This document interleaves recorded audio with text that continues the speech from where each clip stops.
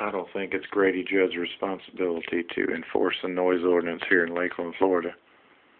They have taken these three streets here next to the railroad tracks on Wabash and they've turned them into city limits, man. They used to be county.